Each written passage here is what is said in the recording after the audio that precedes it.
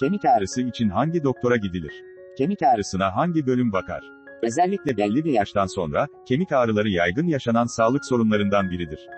Günümüz şartlarında yaş fark etmeden değişik sağlık sorunları ve dramatik durumlar neticesinde de kemik ağrıları söz konusu olabilir. Böyle sağlık sorunları ile karşı karşıya kalan kişiler, hangi polikliniğe başvurması gerektiğini öğrenmeye çalışıyor.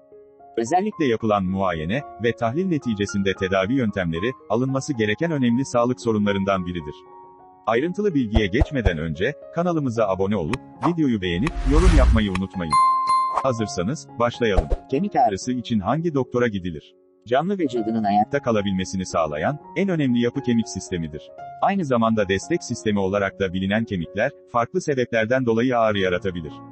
Bu ağrıların daha fazla oluşmaması için, mutlaka ilgili doktora başvurmak gerekir. Böyle durumlarda ortopedi doktoruna başvurmak, ilk sırada yer alır. Eğer başka sağlık sorunu söz konusu ise, ortopedi üzerinden başka poliklinik dahilinde yönlendirme yapılır. Kemik ağrısına hangi bölüm bakar? Kemik ağrıları, vücudun birçok farklı yerinde söz konusu olabilir. Özellikle yaş ile beraber, aynı zamanda travmatik durumlar ve genetik bir takım sorunlar bu problemi ortaya çıkarmaktadır. Böyle durumlarda ise, öne çıkan belirtiler doğrultusunda, mutlaka ortopedi polikliniğine başvurmak gerekir. Kemik ağrısı için ele alınan tahliller ve muayene neticesinde, ilgili tedavi yöntemi ön plana çıkarılır. Soruna bağlı olarak, bu konuda birçok farklı tedavi seçeneği bulunmaktadır. Kemik ağrısı neden oluşur? Kemik ağrıları, özellikle fiziksel darbe ya da kemik kırılmaları neticesinde söz konusu olabilir.